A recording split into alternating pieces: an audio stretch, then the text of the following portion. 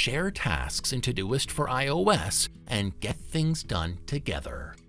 Tap the person icon at the top right of any project and you can share that project with anyone. Just enter their email address and tap to invite them. Or start typing their name if you've shared projects with them before.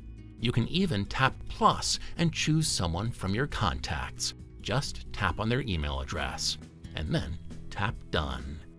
Select any task in a shared project and tap the edit icon and you can assign that task to one of your colleagues. Simply tap on their name and be sure to save your task. And when you create a new task, just tap the icon on the right and you can assign this task to a specific person as well. Each colleague you invite will receive an email notification like this one. When they log into their account or open a new one, they'll see your project, complete with their personal assignments. And when they complete a task, add a new one, or make other changes, you'll receive a push notification. Start collaborating today at Todoist.com.